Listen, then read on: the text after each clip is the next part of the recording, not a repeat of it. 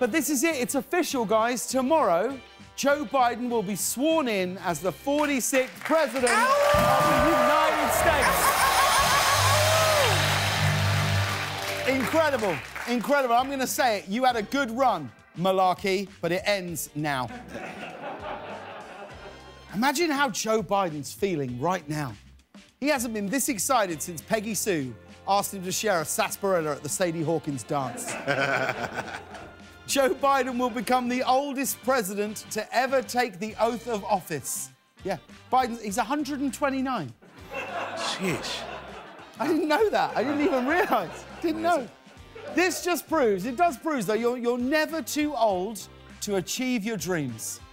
Unless you're in Los Angeles and over the age of 35, and if you are, ill. but thanks, Susan. But unlike previous inauguration days, Donald and Melania Trump will not be attending the ceremony or meeting with the Bidens at any point tomorrow. There's a real break with tradition, but it will ring in a new tradition of me not caring where Trump is or what he's doing. Yeah. Now, this is true. The last time a president skipped the inauguration was in 1869. And Joe Biden said he didn't approve of it back then either. Instead, President Trump released a farewell video message this afternoon and he, ur- and he made this urgent plea to Joe Biden.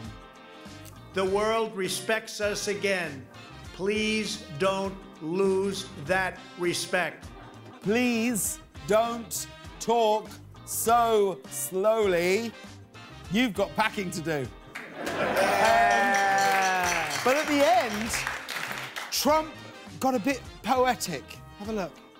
I go from this majestic place with a loyal and joyful heart and optimistic spirit. This is historic. It really is. This marks the first time someone has been both optimistic and moving to Florida. the outgoing president apparently spent his final day in office issuing around 100 pardons. 100 pardons. Sounds like a Hugh Grant movie. yes. Uh, sorry, pardon. Yes, I'm um, sorry. Uh, oh, God, Uh, pardon me, if you will. I'm sorry. I need. Of course, President Trump left town long before all the festivities began, and during a farewell address this morning to around 200 supporters at the airport, Trump promised that he'll be back. The things that we've done have been just incredible, and I couldn't have done them, done it without you. So just a goodbye. We love you.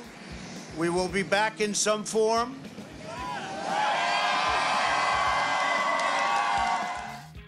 Okay, well, at least he made it sound as creepy as possible. this is like the end of a bad movie when the villain teases their return and you're watching it like, I don't think this one's getting a sequel. and there was a bit of a surreal moment during Donald and Melania's farewell as they boarded Air Force One to the song YMCA.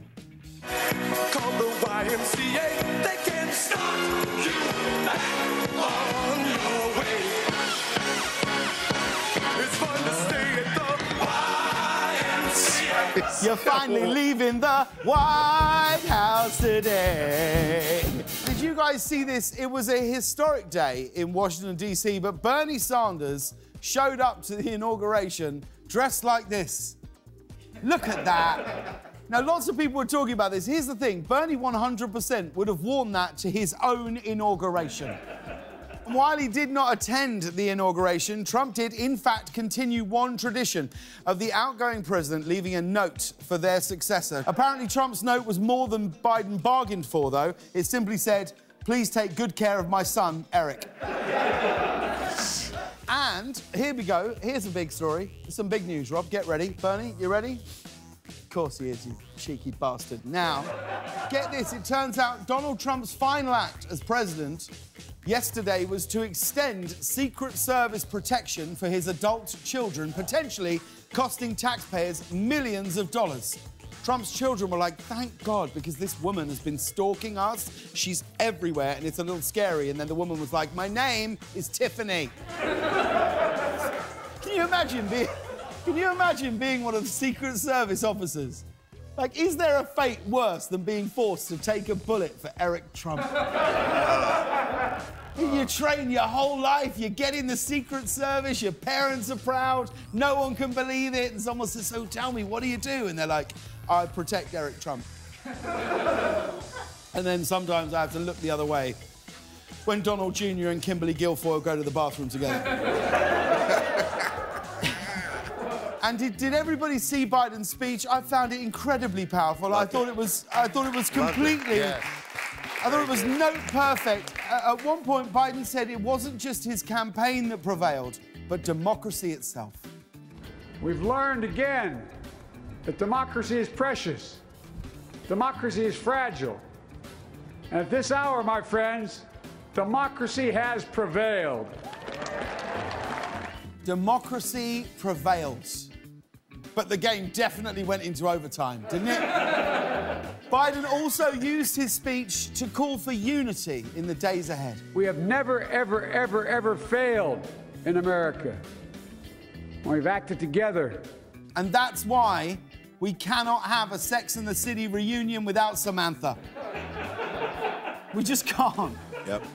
Meanwhile, Donald Trump saw this. He was like, unity, unity, unity. Is that that girl I paid off at that strip club in Reno? Oh, no, that was Destiny. That's right. Uh, now, while all of this was going on, staffers were busy moving the Biden's things into the White House, but Biden's Peloton bike is causing some concern because it has a camera and a microphone and it poses a threat from hackers, which is why I've not been using mine. Yeah. Security reasons, you know, country first, they've got to play it safe, you know? Of course. But they've said that they're working on a solution, and if they can't find a way to make the peloton secure, Biden will have to go back to spinning on his old bike. That's so good. Oh, that really took. That's the most Yeah. you've ever laughed. Penny farthing. I love a penny farthing. And this is exciting. This morning, the United States officially rejoined the World Health Organization. Reverse, yes, I'll yes. Yes. Reversing a decision that was made by Trump last year, Dr. Fauci attended a WHO meeting today and began by saying, So that was awkward. it's great news, but I have to say the bar is pretty low for good presidenting right now, isn't it? Biden goes, Let's rejoin the World Health Organization during a global pandemic. And we're all like, Oh my God! An amazing idea. Where does he get these ideas from? I love this guy. What? Biden is making some other changes as well. He apparently has removed Donald Trump's Diet Coke button from the Oval Office. You remember ah. that? When Trey press a button and a butler would bring in a Diet Coke on a silver platter. I'm going to say it Biden has undone the one good idea Trump ever had. Biden took out Trump's Diet Coke button. Unfortunately, he replaced it with a Metamucil button. London's narrowest house, which measures at just five feet wide. What do you, what do you, what do you get used to this, buddy?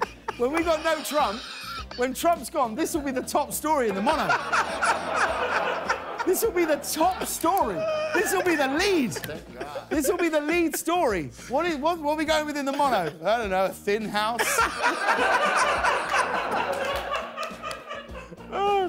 Uh, but it's true. London's narrowest house. It's not even Britain's narrowest house. It's London's narrowest house. Measures at just five feet wide. And it's on sale, Reg. You know you're thinking, well, how much is it? Yeah, I am. It's on sale for $1.4 million. This is the house here. Look at that. Look, that blue bit in the middle, yeah. I do imagine living there though, awkward if you've got a date over. Do you know what I mean? Yeah. And you go, uh, so shall we move this to the bedroom? Well, you go, then I'll go, and then. right. Sorry, you stand that way and open the door. I'll go, then you go, and then we'll have a great time.